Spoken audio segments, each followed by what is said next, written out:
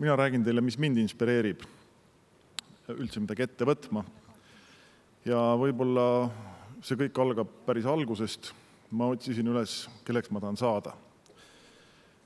ja ma leidsin üles esimese kirjaliku tõendi, lasteaia lõputunnistuse ja sinna oli kirjutatud käsitsi, Ülar tahab saada tankistiks.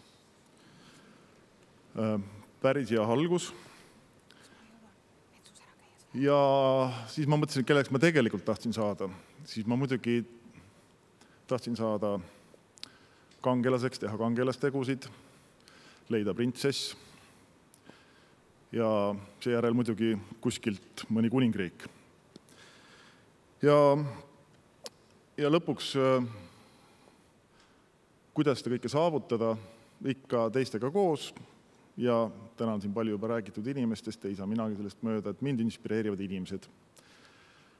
ja, ja kui inimestest rääkida, siis äh, just väga erinevad inimesed. ja inimestevaheline võib-olla selline baasreegel on see, et kui on võimalik, siis anna rohkem, kui vastu saad. ja ma arvan, see on üks selline baasmudel, kuidas üldse maailm toimib. ja kui see laiendada äh, edasi perekonna peale edasi töökoha peale, äh, riigi peale, äh, võib-olla kogu maakera peale, millest on palju räägitud, et tore oleks, kui peale meid, meid siin see maakera oleks natuke parem, ehk ainus võimalus on see, et kõik inimesed peaks andma natuke rohkem maakerale tagasi, kui nad saavad. see on ülimalt raske. võib-olla isegi, et väga pea, peaaegu et võimatu ja kui seda liiga palju mõelda, siis põhimõtteliselt võib äh, istuli kukkuda ja, ja mõelda, et minust ei sõltu üldse mitte midagi.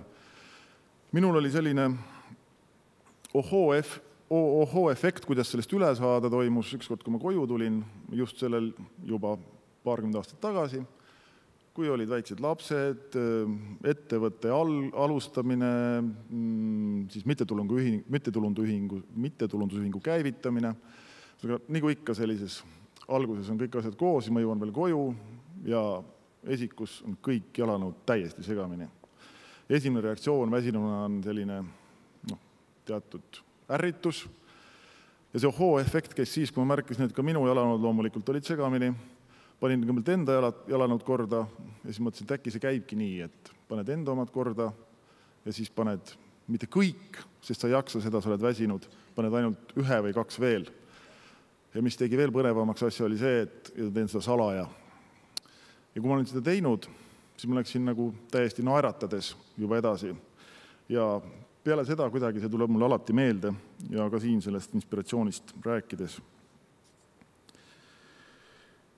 nüüd üks asi, mis on, on see, et kui mõelda maakera, riigi peale, siis on küsimus, kas me üldse suudame rohkem neile tagasi anda või kui me jõuame emani või eesti keeleni, mis on kogu meie nii-öelda mõtlemise alus, siis ega ei jõua küll.